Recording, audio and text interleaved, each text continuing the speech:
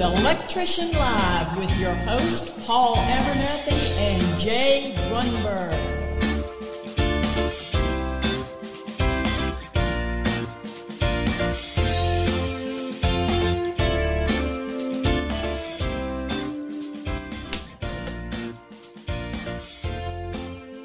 What up, what up, everybody? Welcome to another episode of Electrician Live. My name is Paul Abernathy, your co host, and the other host is none other than the Basement King himself, Mr. J. Grunberg. Grunberg, welcome to the Hey, show. Hey, Paul. Yeah. There you go. Honored to see you again, my friend. Been a been a busy week for you up there in Colorado.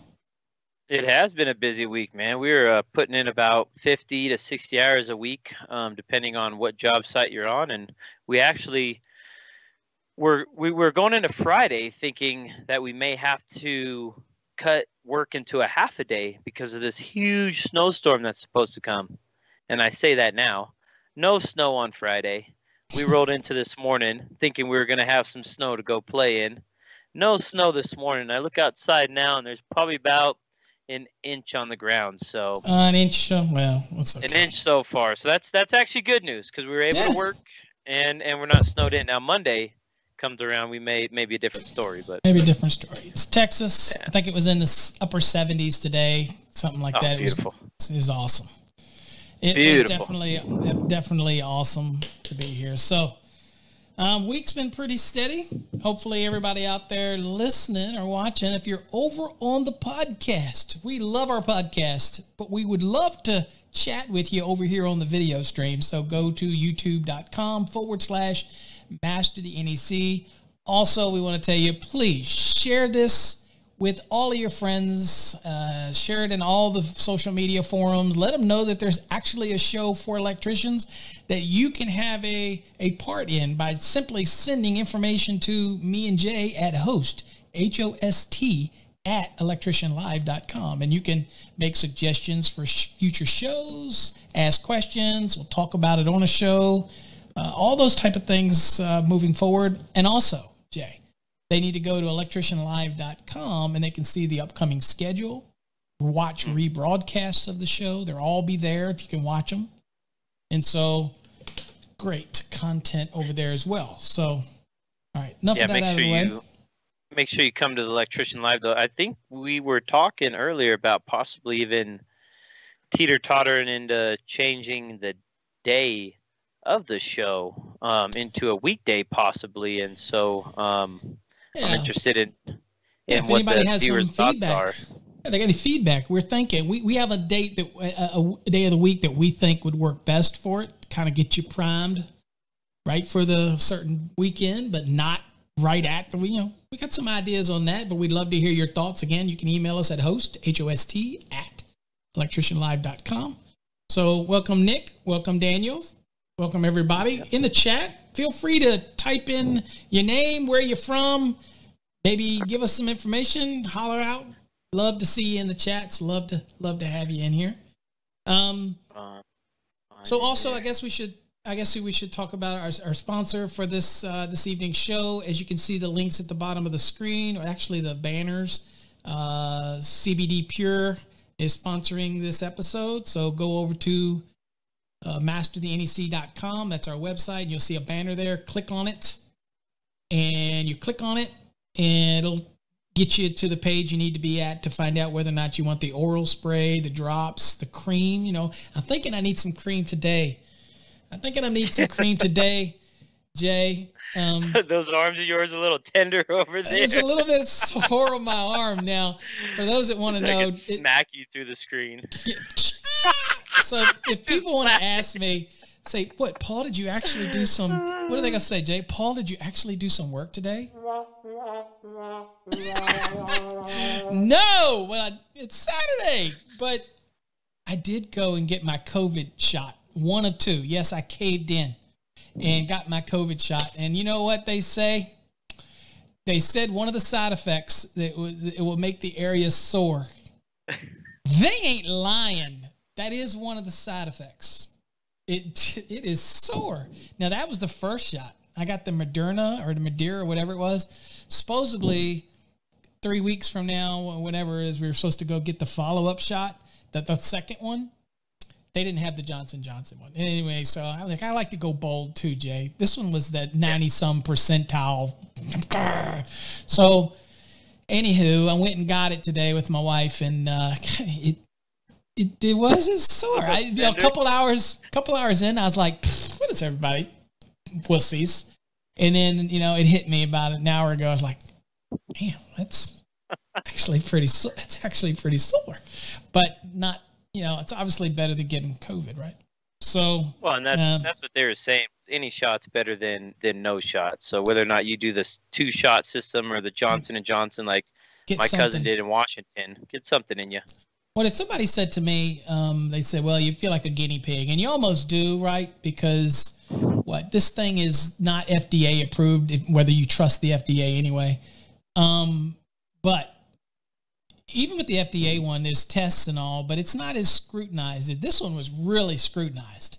I mean, because of the pandemic, because of the process pushing it through, and all this, it was it was really scrutinized. So I felt safe about it. Um, and so we went and, went and got it. We've already had COVID, Jay, in my house. Uh, if you remember or not, my, my son actually got COVID. So we had to navigate that. But um, our city's giving it now, and it was right down the street. And I'm like, God, we're going to get that shot. But uh, I haven't had any other effects other than, you know, sore a little bit. And that'll go away. That'll go away. Hopefully tomorrow. We haven't been affected tomorrow. by the COVID what's we ha- we haven't uh, been affected in the house with the COVID. We've been affected through work related. Like a few of my coworkers, is one of my coworkers' son had it, and um, then see another coworker, see, his girlfriend had it. See what a team player Jay is with his people. He calls them coworkers. They're employees, but he's or, like, yeah, they're they're my coworkers. You know, in as if Jay actually got out there and did the work. Oh, wait a minute. You did go out and do work, didn't you? Yeah, he did, he did go out and do some work. All right. I did a job walk, and I actually so.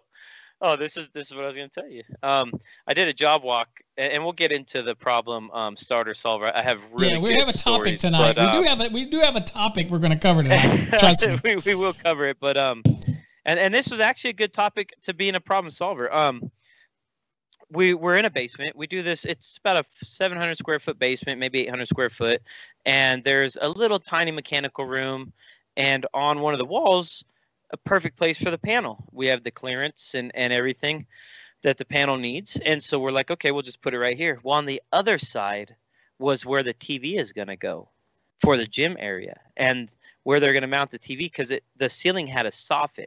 So unlike a normal eight foot ceiling or nine foot. This was like a seven foot, six and a half foot, or whatever. The soffit dropped it down a little bit to, right. to whatever the bottom was, and so it was the TV had to drop down, and they were going to put the two by fours right where our panels panel was at. Well, the guys had, had already run the circuits out. They've run the SER for the. They've already laid everything out. They've they've laid everything out, and it's it's almost terminated, all terminated. So the solution was to just um, bump the panel out bump it out enough to where on the back side they could still fit that solid.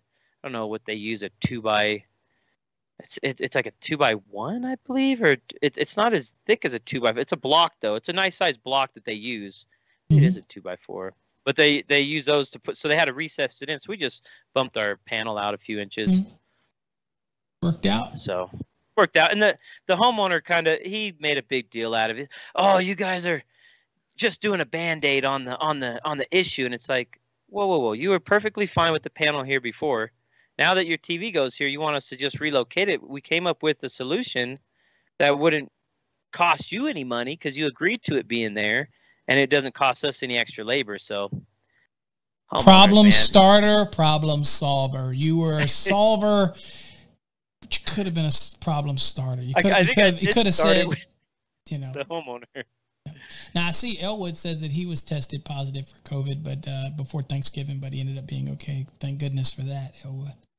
Oh Absolutely. yeah, for sure. Absolutely. Job, and I think Elwood's chiming in from California too. I know Nick's from Dallas, and Daniels from Texas, so they're kind of in your your Oh, your yeah. neck woods. Yeah, ta- uh, Texas folks. I'm up here in North Texas. I'm in McKinney. If you're ever up this way and you want to grab a coffee or something, even though I kind of always boy- boycott Starbucks, I still have one. I will meet at a coffee house. I'm up here all the time. Holla at me if you're in the area. Um, coming up this way, you want to, you know, you want to shoot the breeze, if you will. All right, so let's talk about tonight's uh, tonight's topic, um, and that is: Are you a problem starter or a problem solver? Jay, I'm going to let you take the reins on this. Um, I will say that I will keep an eye while you're doing that. The lines, we do have lines open tonight. If somebody wants to call in, if I catch it, if you have a story that's relative to this, something to do with problem starters, problem solvers, uh, opinions on it. Uh, this can kind of go a bunch of different ways because you know every time we do a, a show, Jay, that or I, I talk to people about job site actions, how they react, how they Yes. how they carry themselves, and all. I usually it, it seems like it depends on the social media that it's shared on. For example, over in the Instagram, I think that a lot of those young people are crazy anyway, so they're like, "Oh, you're too uptight," you know, they they jump down my throat trying to keep something professional. And I, I think that I, I think what we talk about is uh, setting the tone, setting the image, carrying the profession. Again, some of those people that act that way don't have any desire to be an owner. They don't have any desire to be the leader. They don't have any desire to be the decision maker.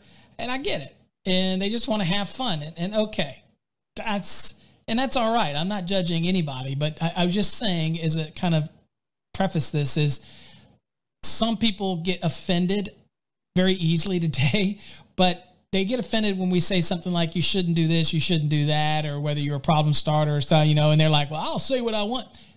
I get it.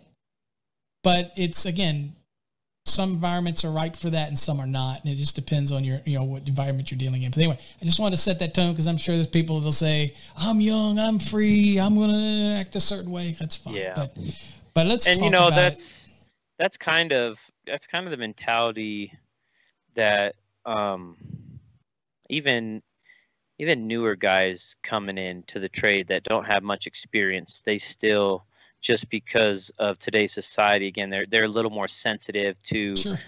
that um constructive criticism right and and whether you're a problem solver that day i, I really think it's daily um, i think people do have a habit and and you can they're just toxic right um, and and a lot of those guys are problem starters um, they tend they to get on the job never- site and they probably never are solver. They're just constantly starter. I did just a, constantly I did a podcast. I guess we've talked about it before a while back. That was about how to remove the cancer from your company, right?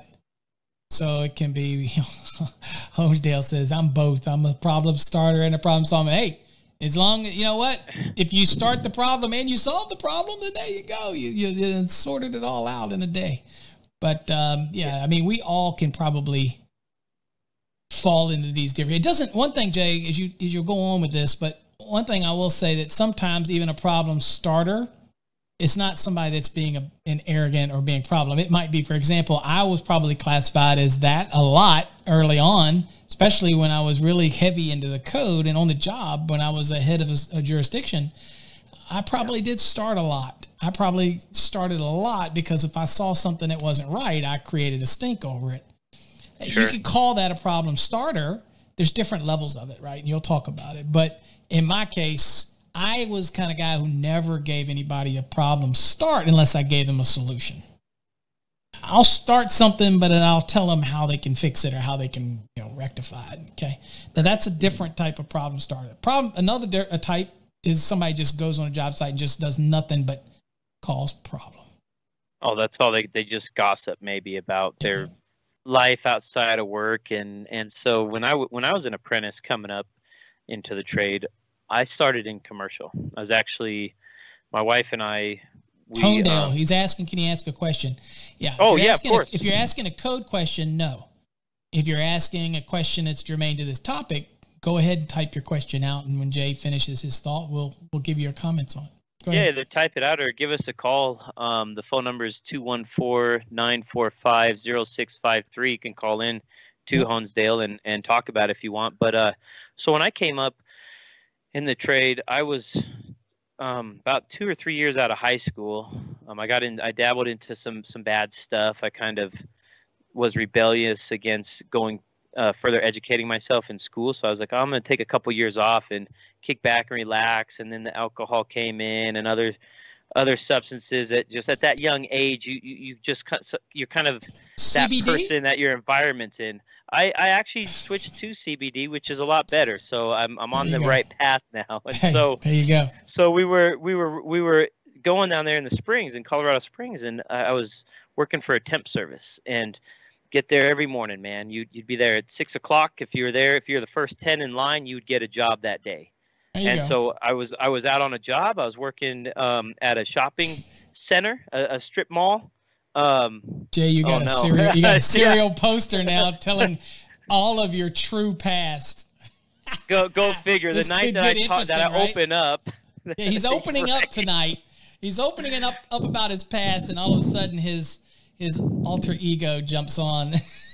don't don't be a problem starter okay there you go, Jay. You're a problem starter. Right. oh man and so and so i'm working at this strip um this, this shopping center the strip, mall yeah Strip strip, strip club. bar no strip mall Okay, sorry. And, uh, could've- it was going to go really bad there for a minute. I was like, okay. no. and so we were cleaning i was cleaning up the job site and i was hustling a lot and the, the electricians they really liked the attitude i had I, I would always try to bring a positive attitude and take care of those that, that were around me really didn't have much so um it's kind of just kind of a loner type of kid at the job site. Um and next thing i know i was, I was busting tail for about three months and these guys were getting into the last unit. It was uh tj maxx home goods and a ross and they were just getting into the tj maxx and they needed help. And and they knew I showed up every day. So they were like hey can we can we take this kid? They, they asked the GC can we take this kid and and ask him if he can become an electrician? Because at the job at the time I was working for the general contractor through a labor source. So the the lady who was a general contractor knew me really really well um and she said sure take him. You know it's going to suck because he shows up every day for me but they're about to have a baby his family's about to have a baby take him and and further his education. So i started on the commercial sites and as that went through a couple months i really couldn't be i i had the mentality of always go go go i didn't have the mentality of really arguing i, I wasn't structured that way so when i was on the job site and someone said hey jay go grab that uh that that wire stretcher i was in the frickin' trailer looking for a wire stretcher there's no such thing as a wire stretcher. We all know that. That's a that's a 101 on the job, you know, uh, prank, man. That was and I fell for it. So, anyways, I just didn't have that in me. Well, as I would go in the trade and, and, and move up six six months to nine months to a year, I would start seeing other individuals get a little outspoken, you know, and they would they would the commercial side of it when I was coming up, it was it was beat beat beat you down, beat beat beat you down, and that's all you would get um, when you came in. Mhm. But again, I I really didn't care, man. To me, I didn't. You could talk the poo you wanted to. I I was getting paid a lot more than what I was at the labor site. So um, just coming into the trade, I I had that mentality and and um, again, I I think as I got th- through my first year, which probably a lot of these um, listeners um, have experienced too with with um, new guys is is they put on that that happy face. Well, after a year in, I was kind of getting tired of getting beat beat down all the time. So I would I would kind of speak back out at times and and again, I guess sometimes like you were saying, you can be a problem solver or a problem starter at the same time. And it can even Mhm. happen in the same day. So you got to be really Yeah. careful on that. So I used that's to- kind of how I came I used to in. do my I used to do transformers, and I would tell my helper to go to the truck and get my primary to secondary regulator. and, and they would say, "What?" And I'd say, "Well, I'm we're putting in this transformer, so I've got to I, I I need to get my I need you to go pick up my primary to secondary regulator because I need to make sure that the primary and secondary are regulated properly. It's in my truck. Just go get it." yeah. Go get it. And then you're yelling at him. I I, I swear I'd Where's come my back and- regulator? Come on, Yeah. where's my primary to secondary? There's no way this primary is going to work right with this secondary if you don't get my primary to secondary regulator. So anyway, go find so, it. It's in the truck, bottom shelf on the left, man. Go get it. And right, what do you uh, mean you don't see it? It's right there. It's where I put it. But yeah, I, I mean, you can be both. Um, I think that I think the one that bothers me probably the most is when you're, and I see Eddie's in here as well. Welcome, Eddie. Uh, happy hey, to be an electrician. Very proud to be an electrician. Hey, you've heard me. People have heard me say this. I've been doing this for over thirty plus years, and there is no other. And I've been doing it, it, it you know, when I was a contractor and everything at, at, at a pretty good level. Uh, I love this trade. I don't. I think this is the best trade out there. And for oh, people oh, yeah. that are wanting to get in this trade and learn it, you, sky's the limit, dude. But if you come in early with a chip on your shoulder, yeah, and you're nothing but a problem starter, when you're trying to absorb as much knowledge as you can, that's the worst. Yeah, if you're if you're the best out there, you're the you're the you're the the, the code cocky guy. You're the, you're that one that's the you know thinks you know it all. Then you're one of those guys that are soon going to fall because there's always somebody that comes along, right? That type of thing.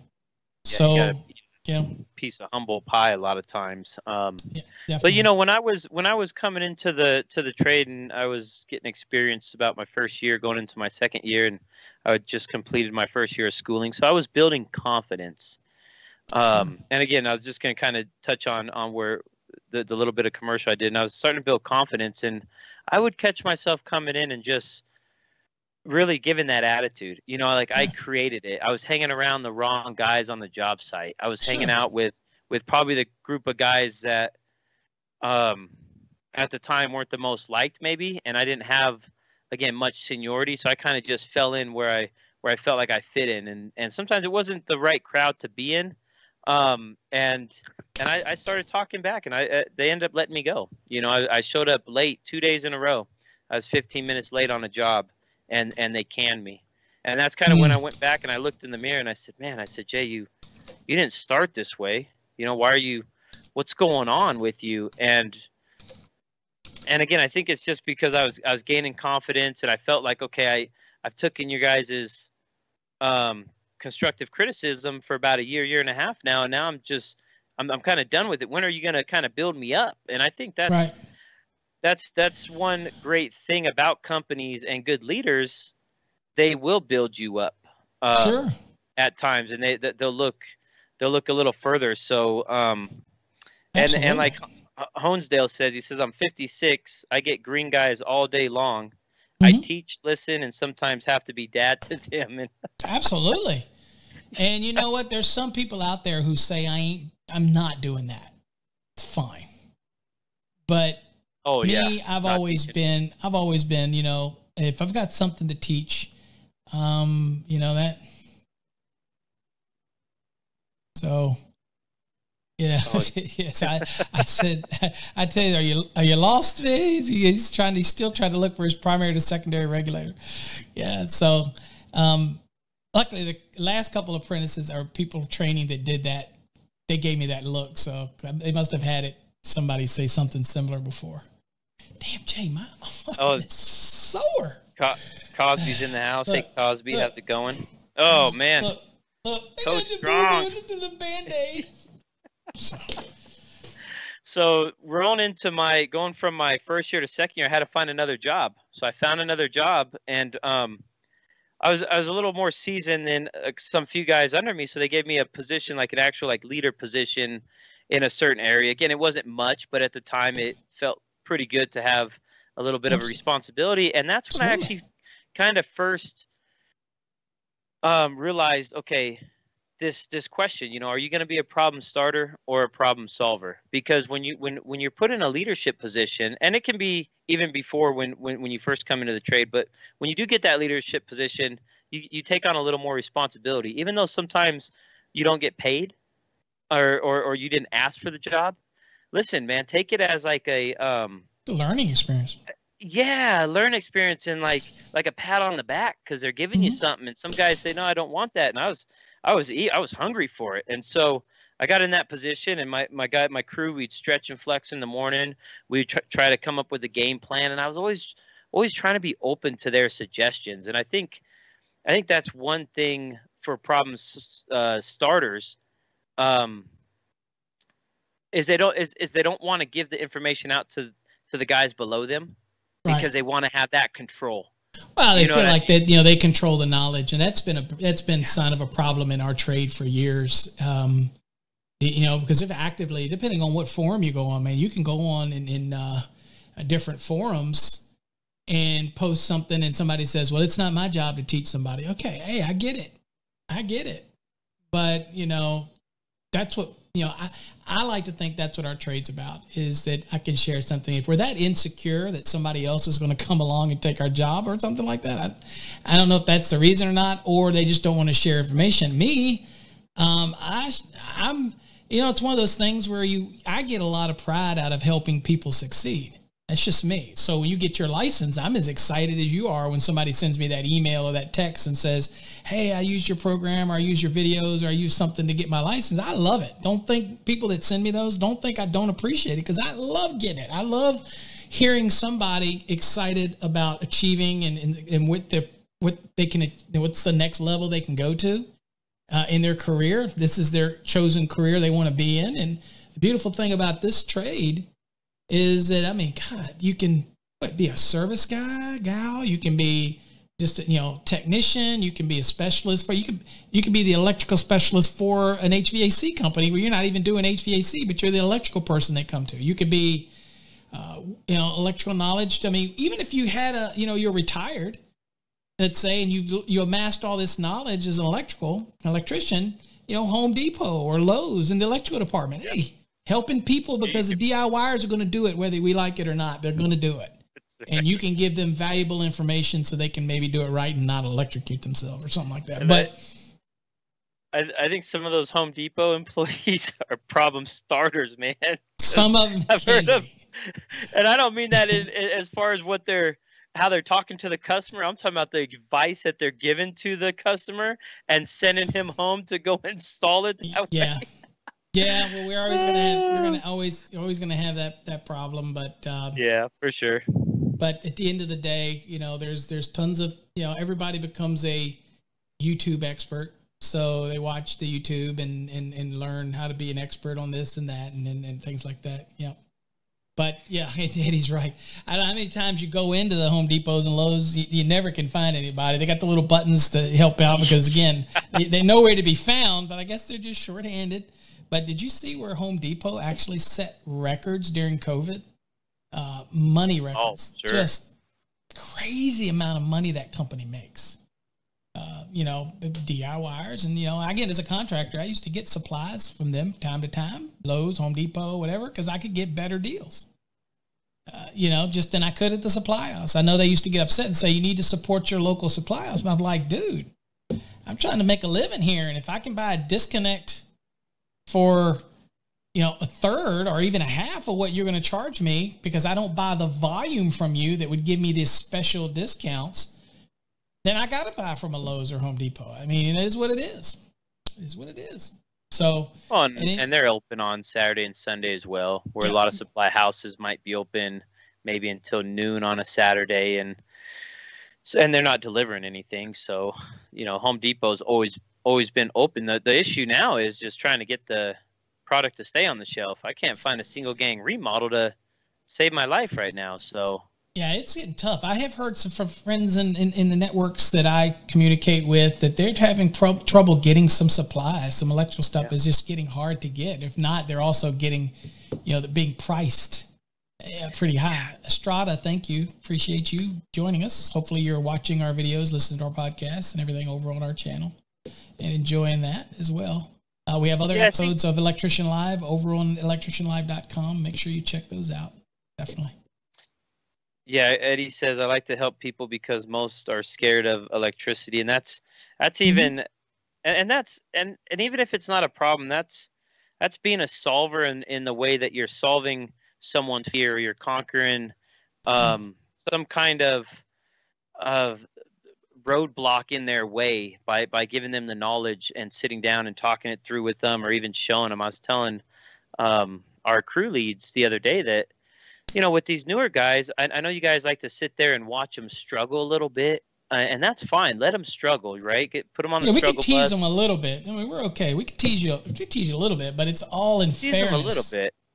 You know. But at the end of the day, if if you know a way that's quicker, faster, and more productive, then then as a owner, and I put you in that position, you should take that time and Oh, yeah. show these guys that way. And Absolutely. and that's and that's what I think we're losing, and not in just my company.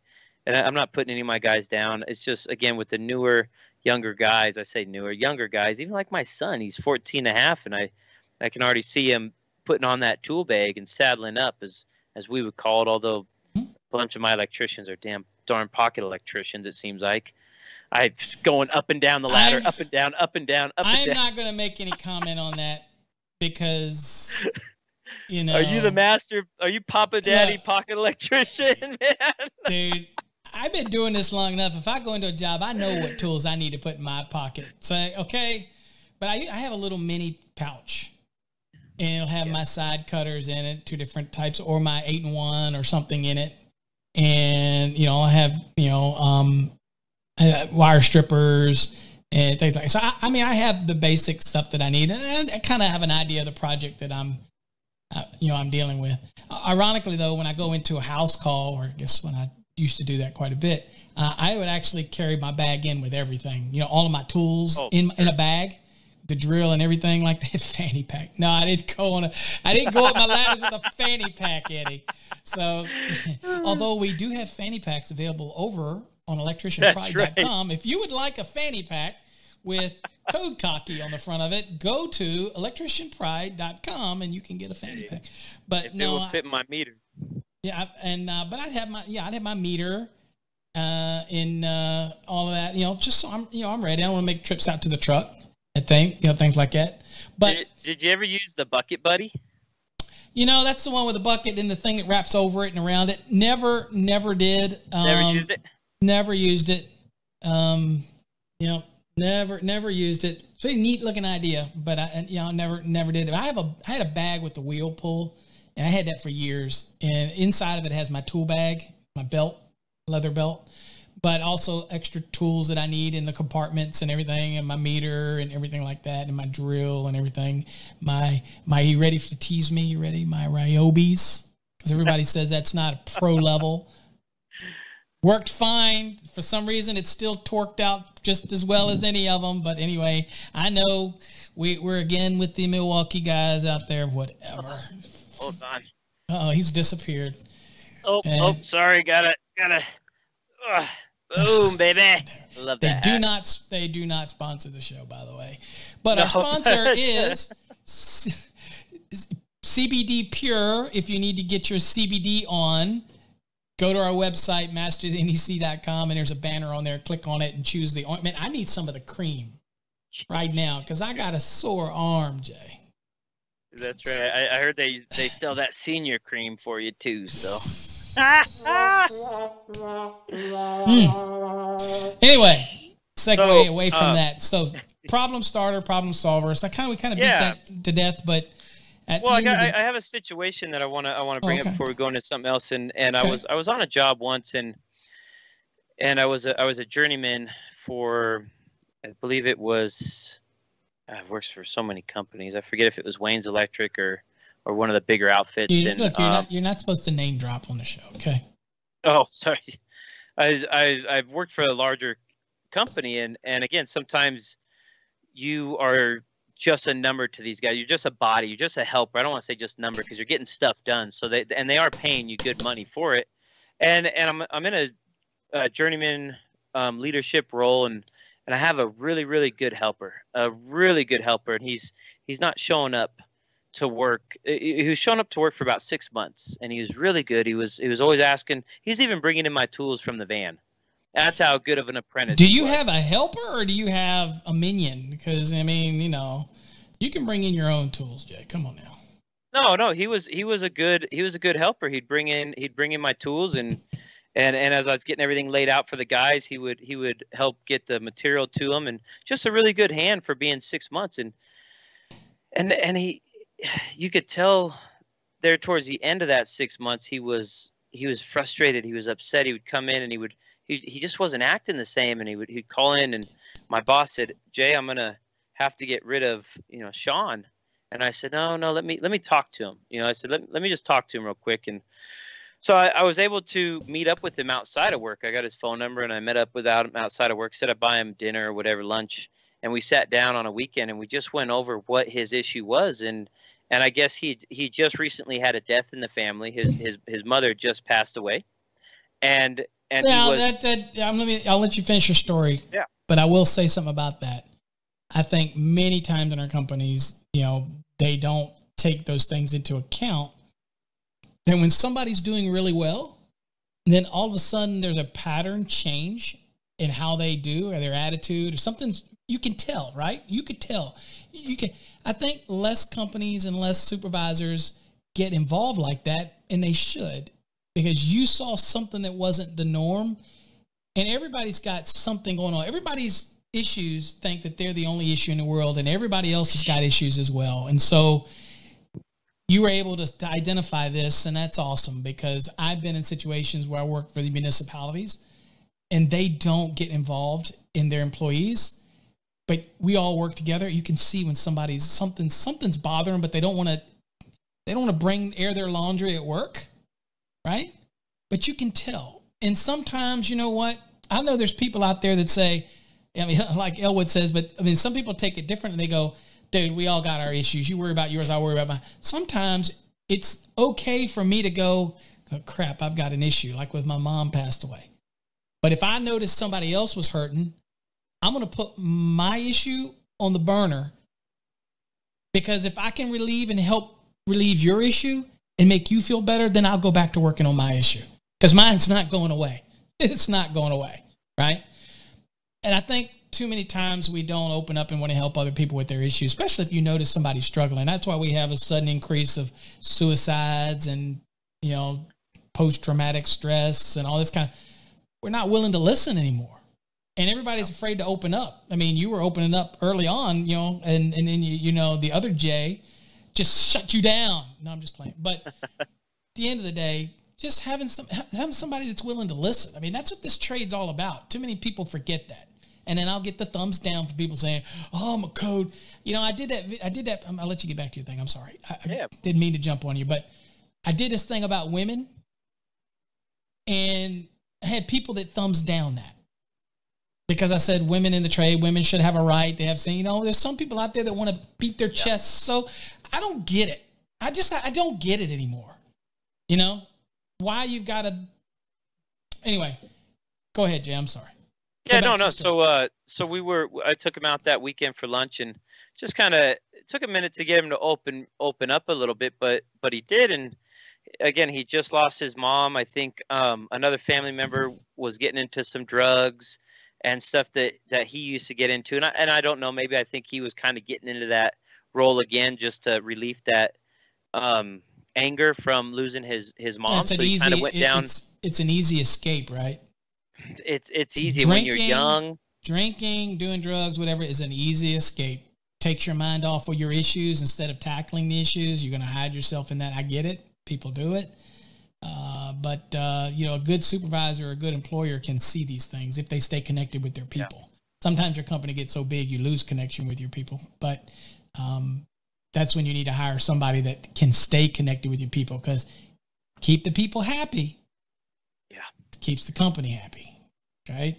Yeah, and you can you can see guys that are that are in the trade that just need that little guidance. You know, when when I was coming up, uh, I had a few guys in the company that that knew I came from the labor background to the company I was hired on with, so they kind of took me under their wing. And my journeyman had he gave me his residential pouch. He had two pouches. He had his commercial pouch, and then he had his side job pouch, and he, they were leathers, man. I mean, these were some nice pouches. And he said, "Hey Jay, until you get until you get your tools, why don't you use these pouch?" Well, every two weeks that I got paid, I'd put you know fifty bucks aside, fifty bucks aside, fifty right. bucks aside. And I grabbed one of those guys. I said, "Hey man, can you?"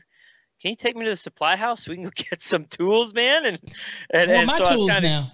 As, as like I don't want to wear your tools anymore. I want my own. So uh, I got the knockoff kind and, and everything like that until I could afford it. But it was just nice that to, to look back now and, and look at those guys who who gave back, and that gives me the encouragement to kind of give back as well. And and I think nowadays, if if I'm a if I'm a problem starter, it's most likely with a general contractor or a PM that I'm having issues Right. with. I don't really do much homeowner work, but uh, I'm always defending my guys and and Sure. again, I know how tough it is in the trade, whether it's residential, commercial, industrial.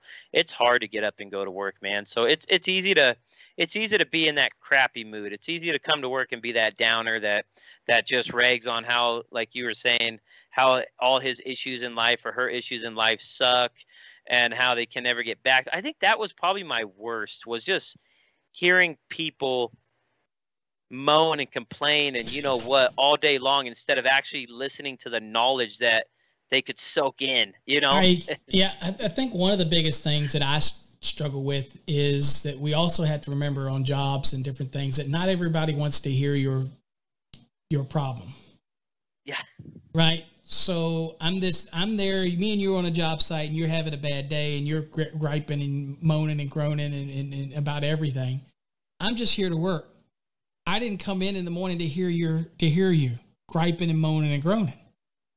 Um, and I'm gonna be less apt to want to have anything to do with your issue when you're barking and nasty whatever. However, if I'm used to your every day and you're come to work and one day you're just you just look, you know, you're quiet. You're just you look down. I am more apt to say at lunch break or something or didn't say, hey is anything going on you want to talk about? Right? And be genuine about it. Whereas if you're there barking and, and moaning and groaning and complaining and just, you know, I don't know why the boss wants me to do this, know, because he's the boss. Hello. Okay. You're getting paid an hourly rate. Just do it. Okay. I know people all the time that do something and then they do it and they have to pull it back out and they end up yelling at the boss or foreman like, I just did this. And I'm sitting there thinking, why are you moaning and groaning? You got paid how many hours to put that in? And now they're telling you for some other reason to pull it out and then put it in again. Hey, hello. You're going to get paid to do it again. Hello. It's okay. yeah i never understood that I, I- I got guys mean- that do the work for a homeowner, for example, and then something, and, and the homeowner changes their mind, and they're like, they come stomping to the truck. God, that's stupid. I'm sitting there going, you know, they're the one paying, and if I look at them and say, well, you know, this is what we agreed to, but you want me to do something else? No problem. You do know it's going to cost more, right? That might change the owner's tune, the homeowner's tune, but you're getting paid to do a job, right? Just do it. Just do it. Just I do the mean, job Just do the job. But yeah, I think I would be more apt to, to notice when somebody that I'm used to working with, especially in a relationship like you with a helper or me with, you know, a helper with a supervisor or somebody to know when something's just not right. And I'm not going to be a problem starter there. I'm going to be a problem solver. I'm going to be an ear to listen. And not everybody can do that. I get it. Some people don't want that baggage. I get it. And you don't have it. Yeah. You don't need it. That's fine. But there are people that are willing to take that again.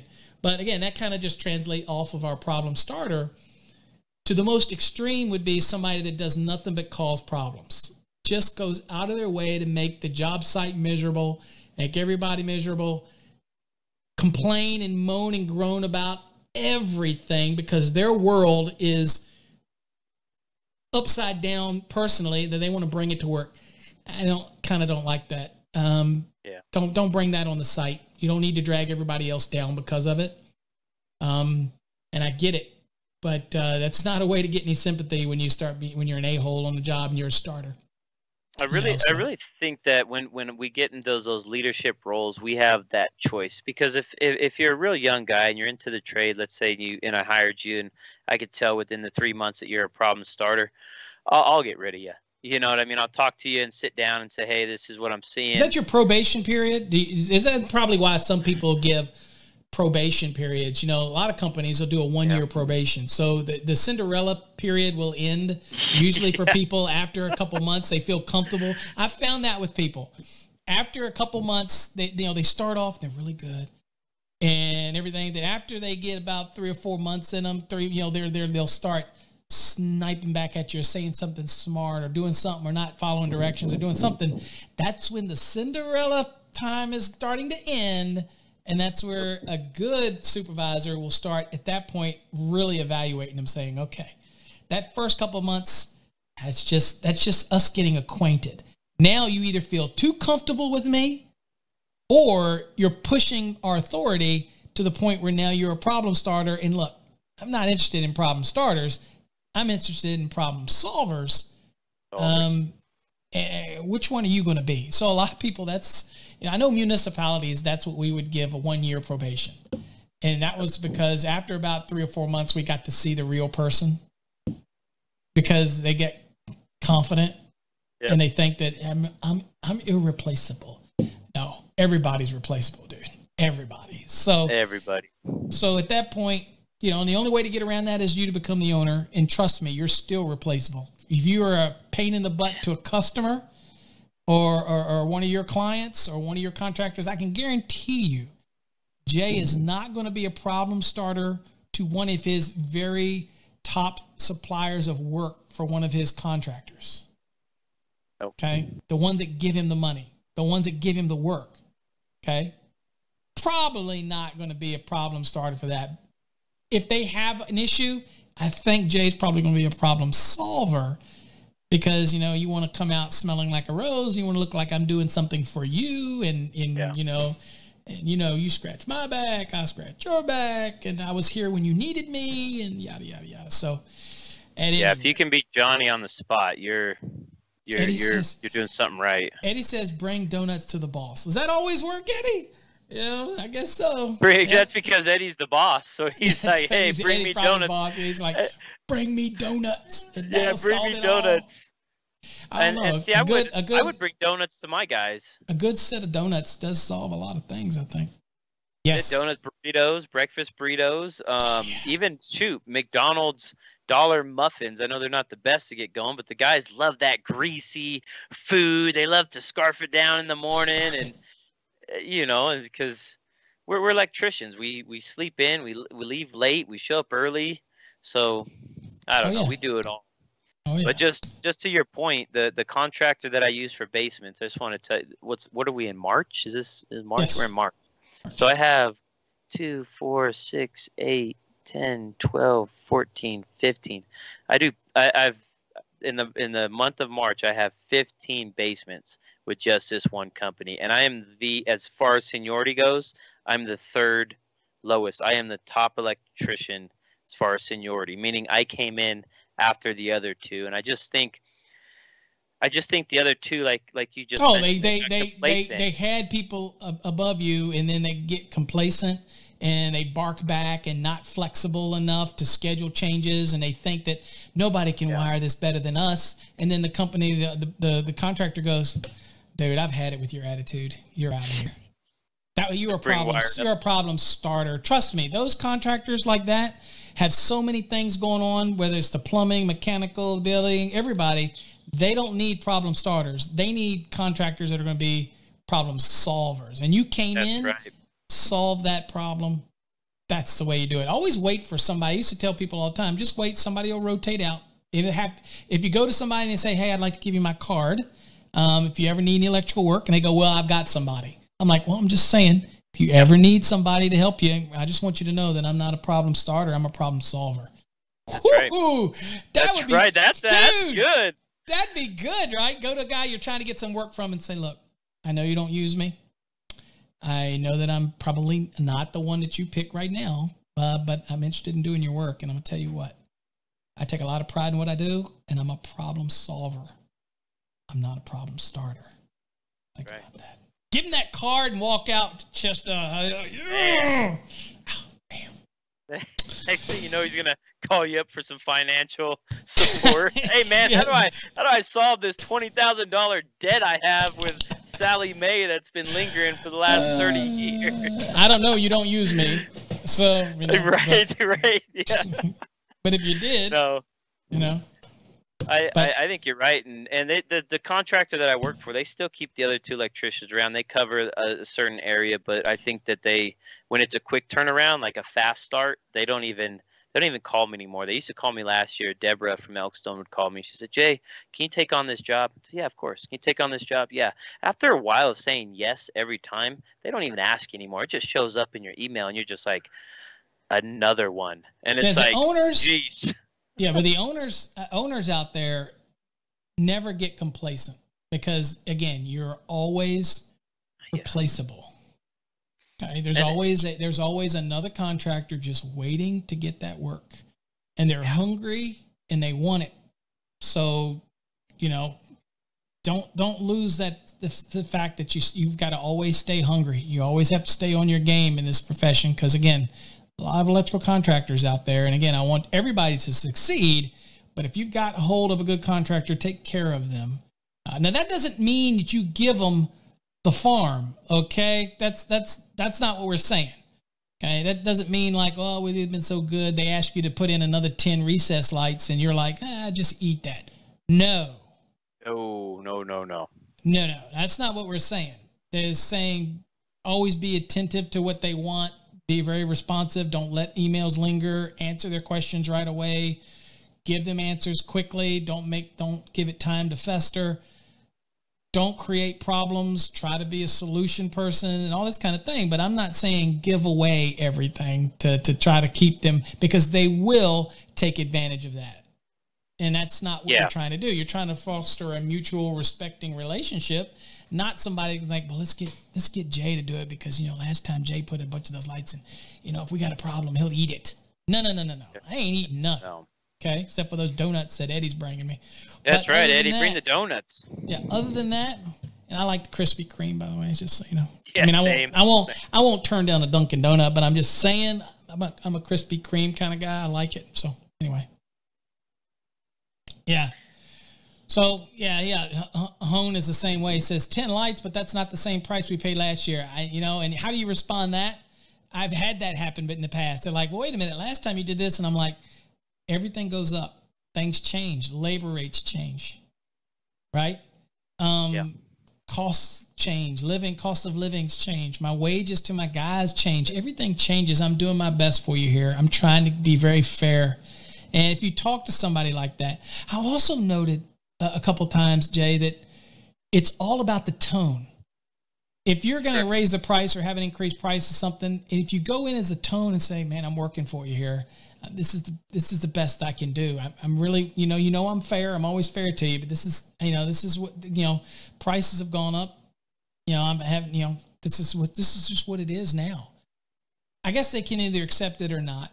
You know, but if but I'll be honest with you in your case, hey, uh, Hone, if if I did that and, and my contractor came back to me and started giving me a bunch of lip about a price increase from last year, ten years, and they don't think about the fact that copper goes up, the raw materials goes up, things go up, and I can tell you copper has gone up and down uh, dramatically. Try to go buy some NMB right now. Many places, if they don't have it, it's two and three weeks wait.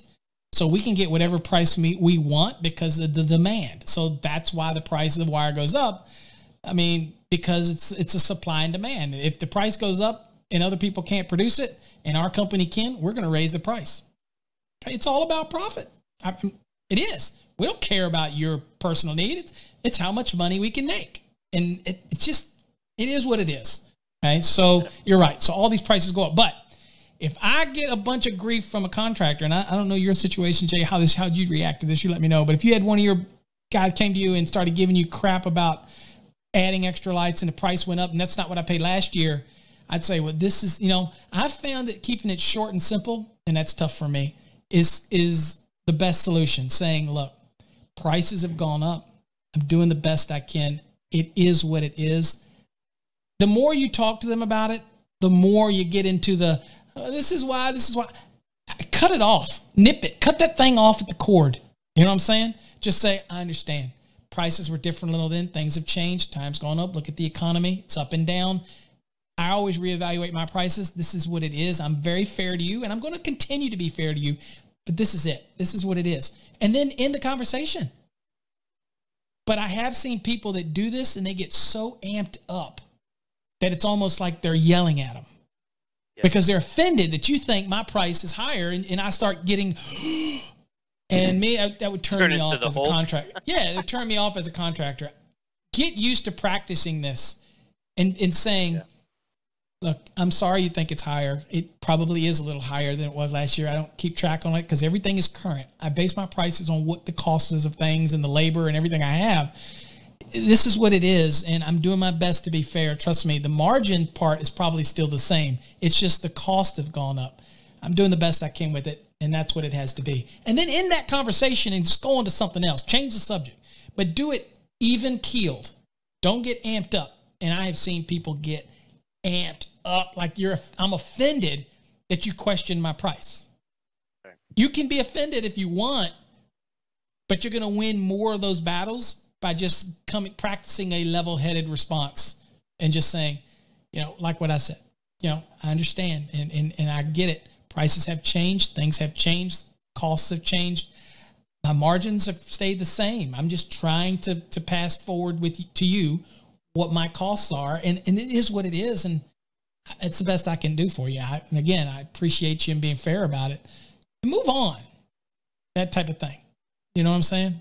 So, um, yeah, I I think for for for wired up when when we knew the code was coming out for the 2020, and that the most states or, or cities were going to adopt it in August of 2020. In let's say I went back three months, so I think it was like July or June or something like that. So I was starting to send out letters saying, "Hey, and on August 1st, my 220 volt circuits are going to go from you know maybe 250 to 350 so there's going to be an increase there oh you are proact- you are proactive on your cost. i was already i was already seeing it because again the, the last thing you want to do is go to someone and and like you say that the prices are, are aren't what they were last year well first of all you should have known what the job you're going to do and then send them a, a, a pre bid anyways if you can. And and one thing i've learned with, with working with general contractors and, and project managers are you need to give them the price and the change order up front and have it approved before you do the work. Because once you do the work and and there's no there's no paper trail of it or there's nothing on the general contractor's end going hey i have approved that even if the work has to get done. Even if you have to the, the plans don't show the smoke alarm in the bedroom you know per code you have to charge it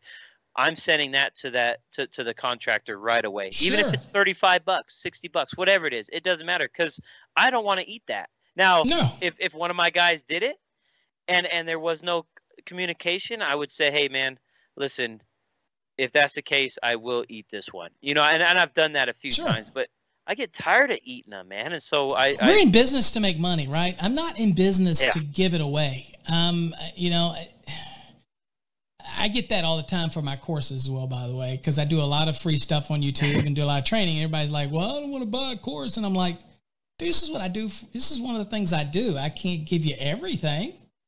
Okay, I mean, I got to make a living. That's this how that's how what the economy works. That's how this whole thing works. You know, capitalism it works. So um, yeah, you, so you, you do your best to help, but in your case, yeah, there's no way you're going to eat that. Now, Eddie asked, "Will we charge?" Uh, interesting enough, Eddie, back in the day um, when I was in Virginia, a lot of it was time and material but I bid an awful lot of jobs, and I think we've talked about this in other shows. I was a big Conest guy back then, so everything that I did, even residential, it didn't matter. Everything was bid. Now, back when I worked with my brother, it wasn't that way. We kind of, you know, Todd would he would take care of the pricing because he had been doing that. He's very familiar with that. I was code driven and I was doing the work, um, but um, you know, he would, you know, he would give estimates out and things like that. Now today, the the work that I do now, I only just for me in Texas right now, and very limited work by the way, um, is residential only. I don't do commercial anymore. Uh, but now I do everything by task because it has to do with taxes in Texas. Um, you can't do residential work, and you can't you can't do per hour and not have to pay taxes. But what you can do, so hourly rate. So in order to get away from around that, which is legal in Texas under residential work, you have to do it by task, right?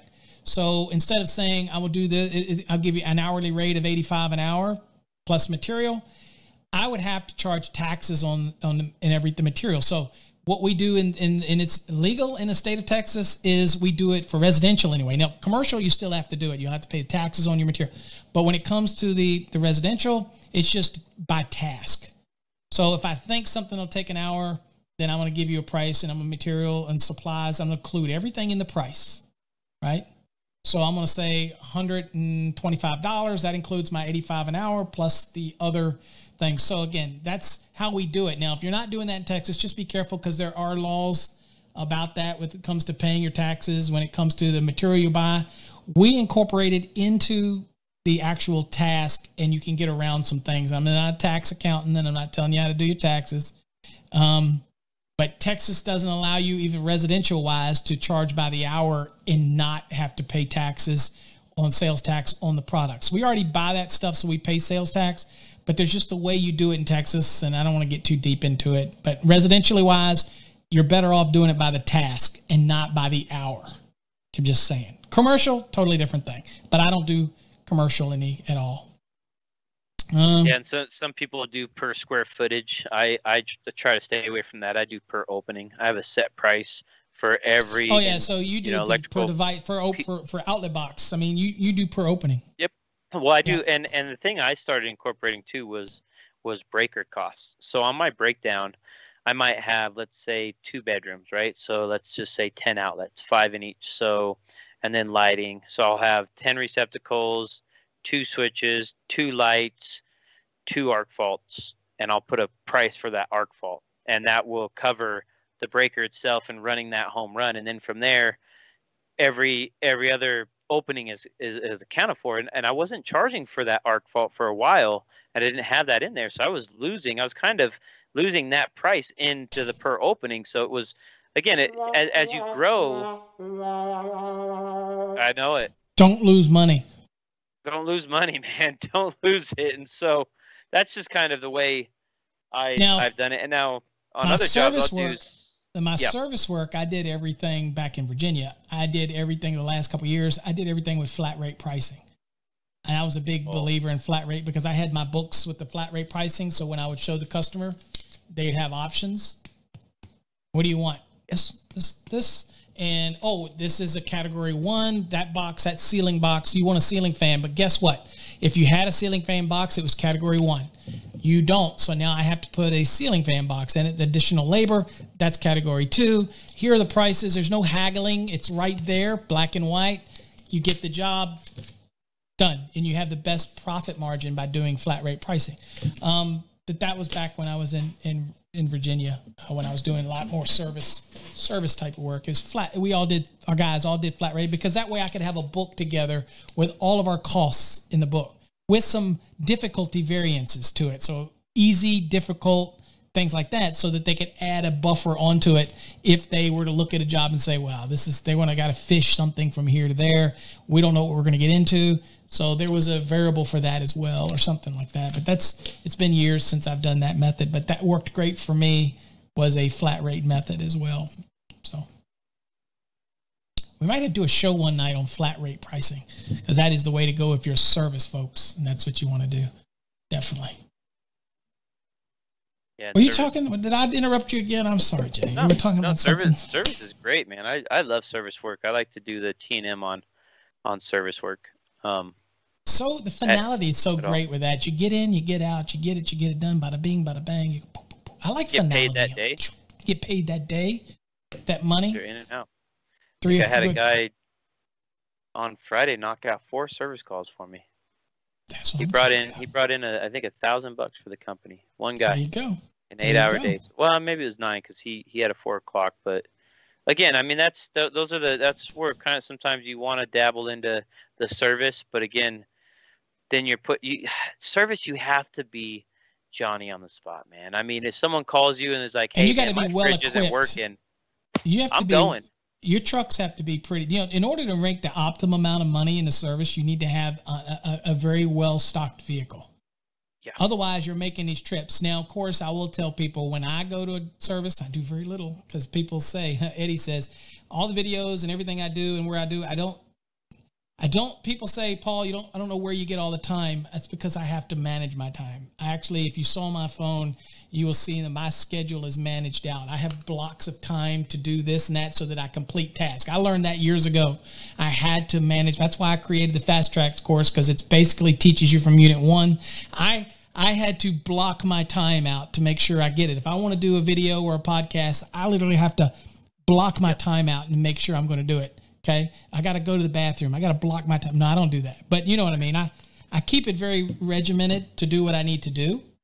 uh, in order to be able to, to get things completed. You know, so uh, at the at the end of the day, it's it's it's all about trying to, to to to schedule things out in order to be efficient for all the things that that, that you do. You know, so and I think I have something I was talking about, but then I got I went on my little efficiency thing to get to get I think things Eddie done.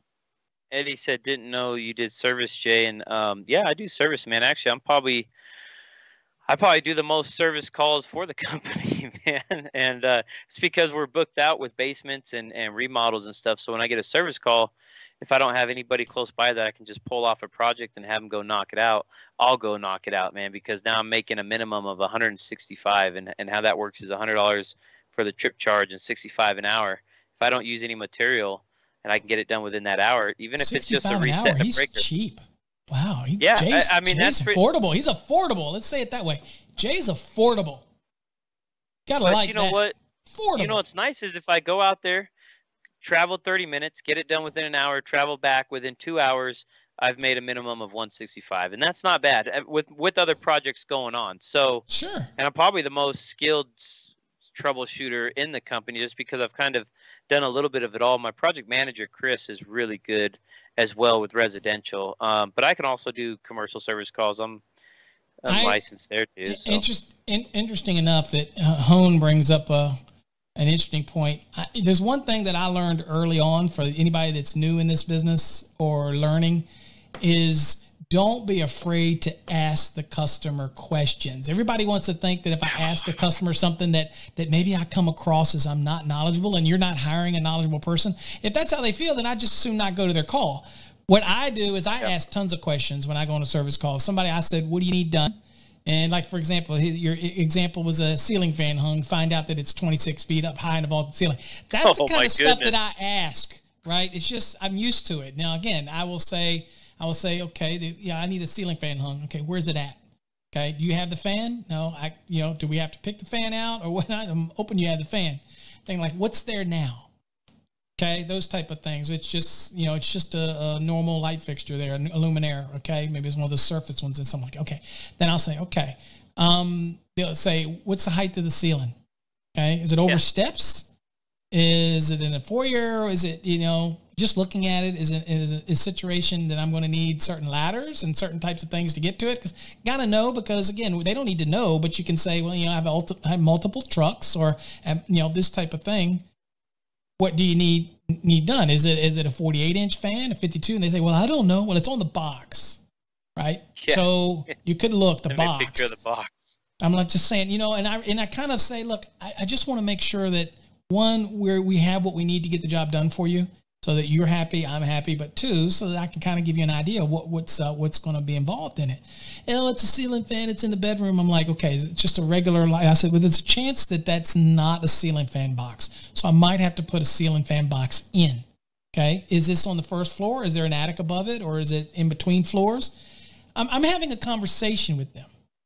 And I don't know. I do it in a way the person doesn't feel like I'm just drilling them. It's just like a conversation. And they're always, for me, they've always been open enough to give me this information because I'm asking it in a way that's, I don't need them to be technical. I'm just, I'm asking questions, just different questions so that I know, but I'm also priming them for it they come out there. So I'm not scaring them with the price. I'm just saying, well, you know, I might take a little bit more than, than normal because that box is not designed to hold it. And last thing I want to do is use a box that's not rated for a fan and it fall down on you. Okay. It just wouldn't Yeah, allow to do do that. that. And the law wouldn't allow me to do that. So, you know, I just want to get these things up front. Anyway, point is, I try to get as much information, okay, as I can before I head out to that job. Well, I had I had a Andrew. He did four service calls on Friday, and I had a picture of Kate, the uh, Kate's residence, which the ceiling fan wasn't working, and they wanted a dimmer. Well, my first question was, send me a picture of the ceiling fan. Well, my first question was, did you change out the remotes in the ceiling fan remote control? Because sometimes those batteries will go out, especially after Right. having it for five years. She said she did that. I said, okay, well, I'm gonna grab a universal.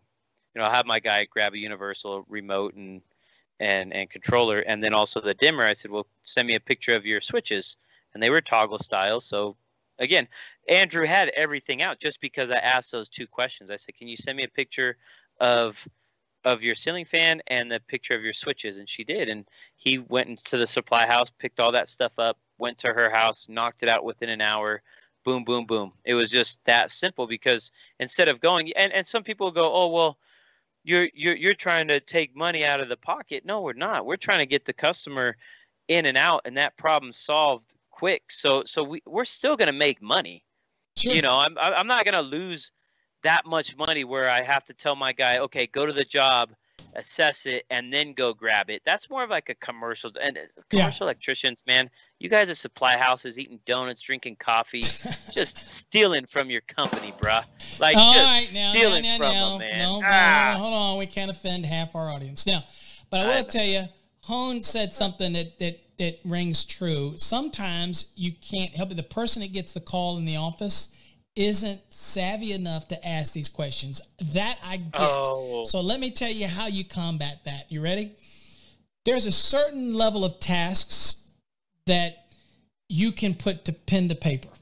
And I mean, for example, you could sit down and say ceiling fan calls. Here are the 10 questions that you ask the customer. Tell them it's a survey that helps determine which electrician we're sending out. We have different electricians in our company. So, eh, you know, so somebody says, I want a ceiling fan installed. Okay. What room is it in? What's the current lighting situation in there now? What's the height of the ceiling?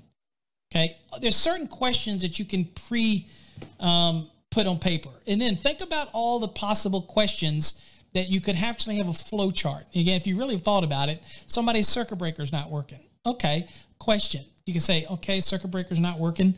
Um, can you do me a favor? Can you look at the circuit breaker and tell me what type it is? It's right there on the panel. If you don't feel comfortable with doing that, that's okay. But can you help me? They'll look at it and it'll tell you right on the discussion there. That'll say whether it's a 20 amp or 30 amp or 15 amp or 50. Okay, excellent. Uh, inside the cover, does it happen to have a name of the manufacturer, the brand, or what type it is? Is it Cutler Hammer, Square D, Siemens, or whatever? Look, you can have a chart where they simply go down a checklist and ask certain types of questions that at least gives you a little bit of an idea before you're going out so you're just not going out there blind. Because I realize that they're not going to always be able, excuse me, let me transfer you this over to so and so to answer these questions. Again, you, you you know, the people get frustrated after a certain amount of time. They're like, dude, I just wanted an electrician. I get it. But there are certain things that you can put down in a flow chart for the person to help the person that's taking the call know how to distinguish and ask some common questions. One is to let you know whether or not they're going to have to go to the supply house, whether they're going to have to make a trip to the house, then back to supply house. If it's Cutler Hammer, 20 amp breakers.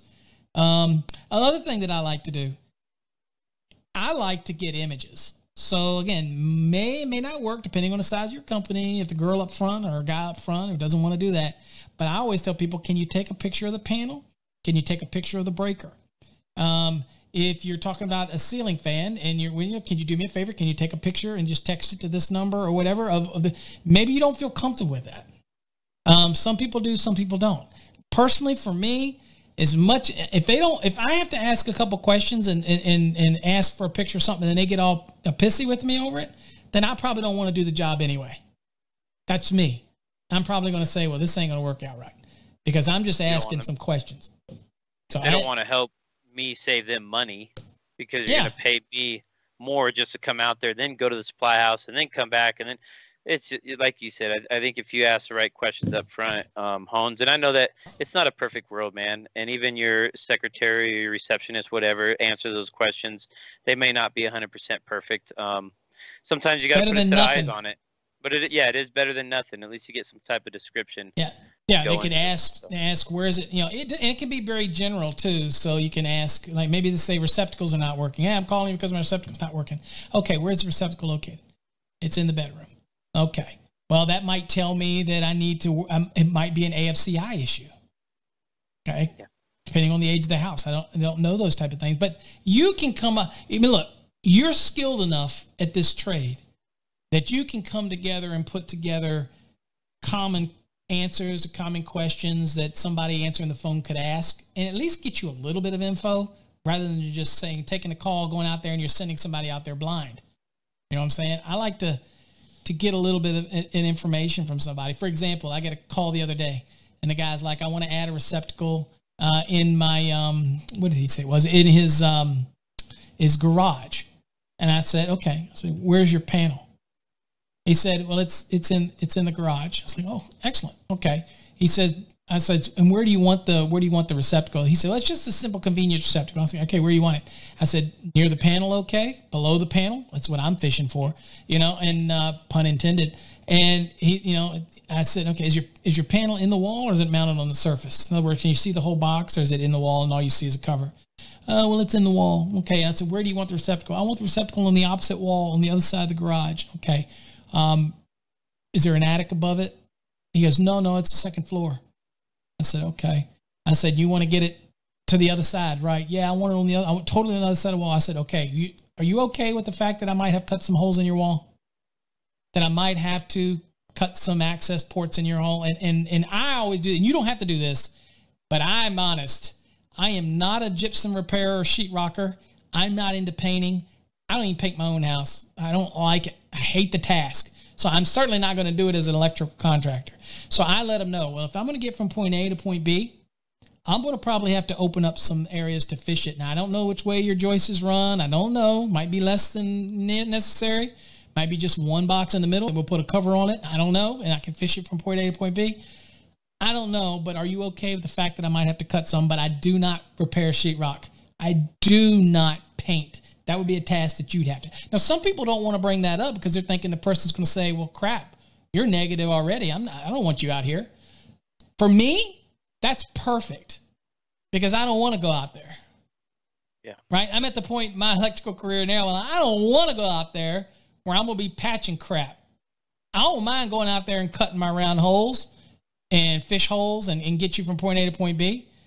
I don't mind that unless there's an attic and I can get above there and, and get it, then that's great. But I ask these questions. And not just because I want to find out the job, but I also do it for me to know whether or not I'm interested in or not. Yeah. And I don't have a problem after all that telling somebody, yeah, you know, I don't really have the time to do that. You know, there's some you know, other people that probably have time to do that. But again, uh, that type of thing. Now, Eddie, do I clean up my mess? Absolutely. I always clean my mess up. Absolutely. I will clean my mess up. I go in clean, come out clean. Look very professional. But I am not going to patch sheetrock. I'm just just not it's just not.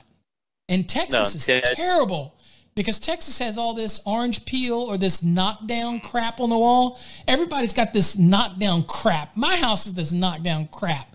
Uh, if it's just a plain wall, I might even entertain it. But this knockdown stuff, I can't do that hire somebody to do it.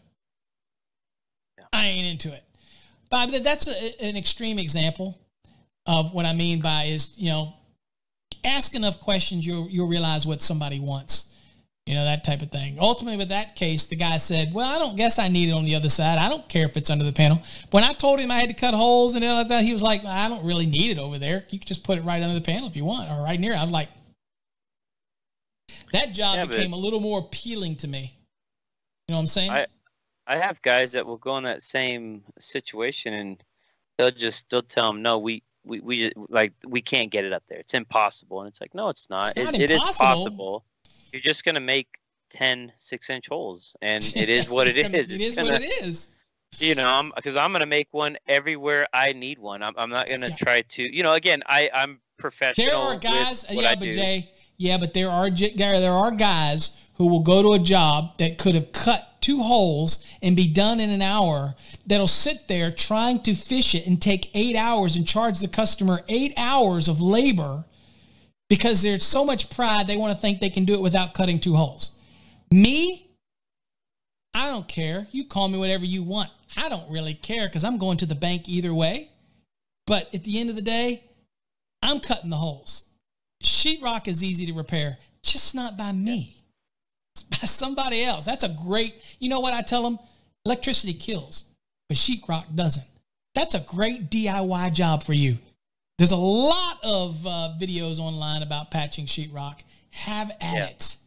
And, but and I'm see, Ernesto, Ernesto brings up a good point. He says, I, I never patch regardless, but I have another partner that does. And and that's that's a way to actually share the business, bring in either share a buddy, yeah, Exactly. Yeah. Share it. Say, hey, I have to make these holes. I'm going to make about six of them. and I'll put them back. But, But I know a guy. you want him to, I know a guy, and here's his number. Boom. Beautiful. That's And kind of like the old thing we used to call uh, BNI, Business Networking International. Yes. Whereas Yep. I was a member of that for years. Actually, I, I kind of love the concept of that. And I had in that group there was a plumber, there was a mechanic, there was a sheetrocker, there was a, and we would have their cards handy, and they would do the same for me. Hey, if you're growing a business in an area and it costs you a little a little money, but look up the BNI networking because again, it might it might cost you a little upfront, but once you generate a rapport with these guys and gals, they will share your business cards like water. And it's it's a you scratch my back, I scratch your back uh, relationship. And givers gain concept with uh, BNI. I think it's a great organization. It's all about making money. That's what we're in business for. If you're not in business to make money, then you're a 501c charitable organization, and that's fine. You know, appreciate you, but I'm in business to make money. So that's beautiful, uh, Ernesto. Yes, definitely have somebody. You know, here's another thing. We've talked about this in other shows, Jay. Form relationships with other trades. Don't be afraid to pick up the phone and call a plumbing guy if you're an electrical contractor getting into business and say, hey, I'd love to take you out for a cup of coffee and talk to you about my business. I know that you're a plumber. I'm an electrical guy, but you might run into some situations. I'd love to buy you a cup of coffee. I'm, I'm, I want to learn a little bit more about your business. Yep, I'm not a plumber. Have a cup of coffee with them. Even now, I guess in the COVID days, I mean, Texas has opened up now, no masks anymore. And I got my first shot. Yeah, I have a I have a good plumber buddy that works works with that basement company, and I I have my addition that we're doing, and I said um, I said Nate, we call him Nate the Great. He's he's a single man shop man. He always has that big old Milwaukee cordless concrete freaking jackhammer, boom boom boom boom boom, huge man. And and I always look at him like Nate, when are you gonna ever just hire someone, man? When are you ever gonna hire someone? So uh, I go I go, hey Nate, I'm doing my addition. Do you, you want to take a look? He goes, Jay, I'm so slammed. I, I can't even take a look at it, man. I he's he's so backed up, and so you, you're right. You you want to talk to these guys and ask them and and and find out what their workload is, because again, like Nate, I wouldn't offer someone or I wouldn't uh, recommend him to somebody who's looking for a plumber, knowing he's swamped. That just doesn't that doesn't But it make gives sense. you the to opportunity to get to know another plumber. I mean, that's a great Yeah. look. Here's another thing: if you're an introvert and you want to get over that, and you want to start opening up a little bit, do do yourself a favor. Go to your go to go go to your go to your phone book and or go on the internet and find a very well connected contractor in your area that doesn't do what you do. Give them a call. Come out of your shell and say, "Hey, I'd like to buy you a cup of coffee." I'd like to find out a way that that that as I'm growing my business that I can help you. And and I just like to talk about and always make it about their business. Don't call somebody up like that who's already successful and try to make it I want to mooch your business. That doesn't work. I tell you, I'm gonna give you a secret. What works? Call them up and be about them, everything about them. Say, hey, I've heard a lot of great things about you. Okay, maybe true or not, but you say, look, I, I you know, I, I'd love to buy you a cup of coffee if you have time. I, I'd like, you know, I'm a contractor too. I'm not in your market. I don't do what you do. I have no interest in doing what you do, but I'm interested in learning about what you do. And it's a lot easier to bridge that conversation one on one when they can't just walk away or hang up. And, you know, some people just can't do that. Um, but that's basically what you do in a BNI. You know, you go there, you do your 60 seconds, you talk to everybody in the room, tell them what you have, what you offer, and, you know, givers gain. And everybody takes your business cards, and people, they basically, your sales force is out there working for you. And, you know, but I'm saying if you're not in BNI, you can do it yourself. Pick a, pick a, a, a carpenter company, a builder. Pick a plumber. Pick a mechanical company that that's all they do. They don't do electrical. Not one of those ones that does that does everything. Um, pick a realtor. Okay, if that's what your market, you're talking at you know trying to gain some flip work. Uh, pick a home inspector that's very popular in the area, and you want to take them out and get a cup of coffee or something like that. You're, I'm buying. Love to love to meet with you. Look for b- different people that could benefit you, but also think about how you can benefit them. And so say to them, look, I'd love to get some of your business cards. I'd love to be able to, to share and be able to give your cards out. And then when you're right there before it's over, you might look at them and go, Jay, Um, I'd love to leave you some of my business cards, you know, in case, you know, again, I'm, I know we, we just met or whatever, but I'd love to give you some of my business cards. Maybe you can share them. Uh, if anybody has any questions about electrical, I'm, I'm here to answer the questions if they need it. Just start a conversation.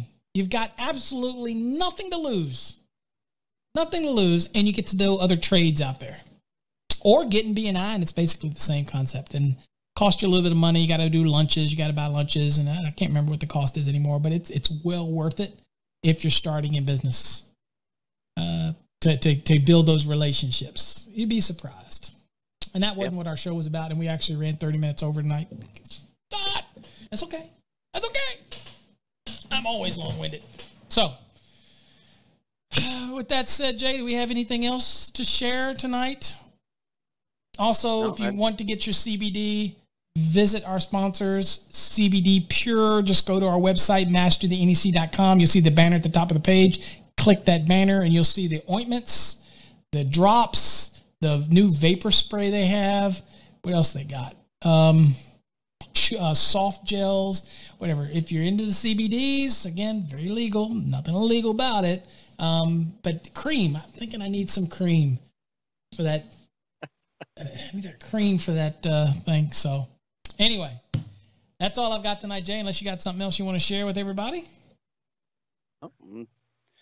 Thanks, uh, thanks for sticking out and sticking with us and commenting on the on the chat line to keep us going. Because absolutely, if not, we're just talking to each other.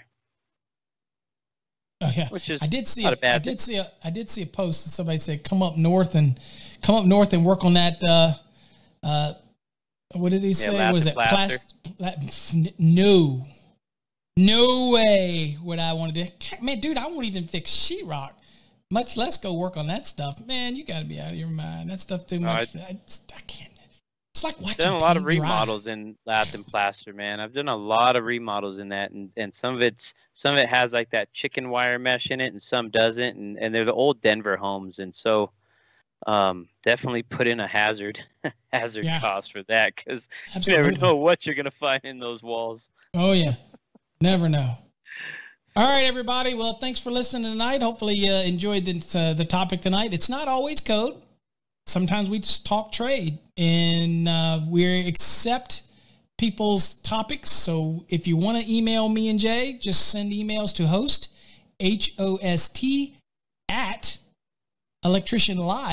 electricianlive.com and we will get that topic on air. We love having different topics you might want to talk about industry, hiring, firing, job markets, things like that. Anything that you feel an interest, it doesn't always have to be code. Tonight's episode wasn't code driven, uh, but sometimes we do talk code. Just wasn't tonight. So, Jay, you have a great week.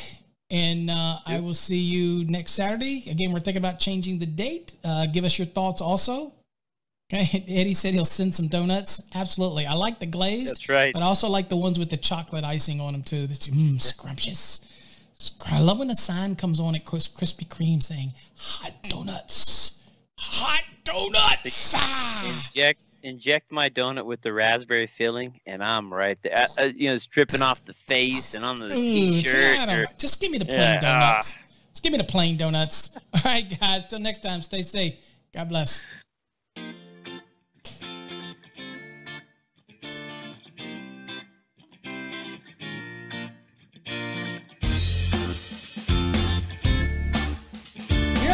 To Electrician Live with your host, Paul Abernathy and Jay Grunberg.